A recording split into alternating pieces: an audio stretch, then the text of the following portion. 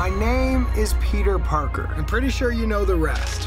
I saved the city, fell in love, then I saved the city again and again and again. Look, I'm a comic book, a cereal, I did a Christmas album, and a so-so popsicle.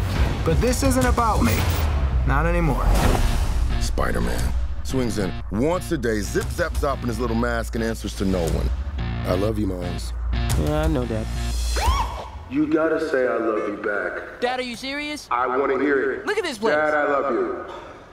Dad, I love you. That's a copy. Ladies and gentlemen, My name is Miles Morales. I'm the one and only Spider-Man.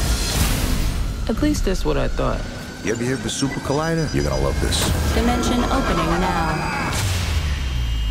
You're like me. That's impossible. All right, kid, listen up. This fry is your universe. It's soggy, it's weird, it's gross. And this delicious normal fry is my universe. So you want to learn to be Spider-Man? Can you teach me? Yes, I can. Time to swing. Good, you're doing it. Double tap to release and whip it out again. Okay. Whip. And release. You're a natural. Whip.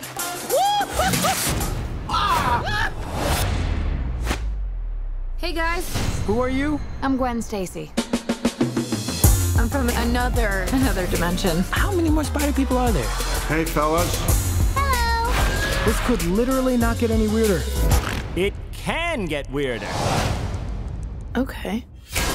We need to get back to our universes soon. Brooklyn is gonna collapse. My family lives in Brooklyn. Whoa, whoa, whoa, whoa, whoa. Miles, what's wrong?